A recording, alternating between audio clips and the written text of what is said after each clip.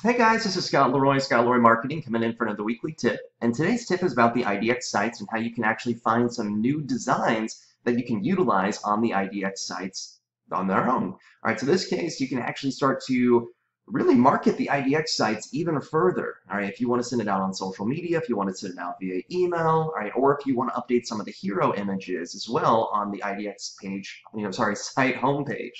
All right, so in order to access this, we'll want to go to Designs over here. So we can click on the little Designs logo on the left-hand side once we're inside Command.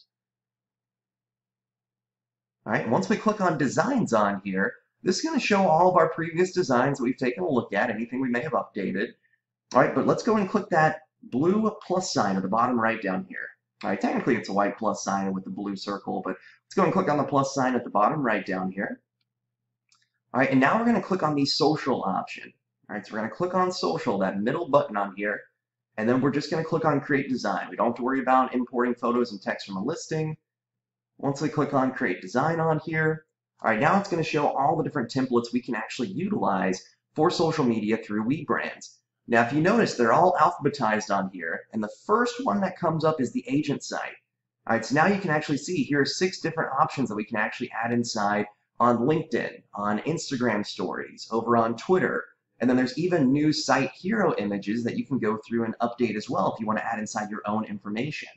All right, so all you'd have to do if you want to update any of these, like say if I want to use Facebook, I can click on this for instance and select use. And then much like I'm editing any of the other items inside our design section or inside Sketchhouse, however you want to consider it, all right, it's going to give us the same editor in the back end on here. So now we can start to move certain items around. All right, we can click on this if we want to update this with our information instead. All right, you can inside your DBA logo. All right, you can go through here and update all this information.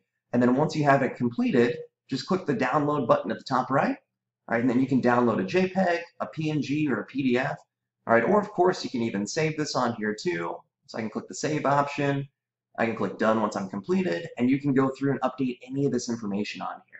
All right, so this is a great way to really get your new IDX site pushed out to everyone, whether it's on social media, via email, however it might be.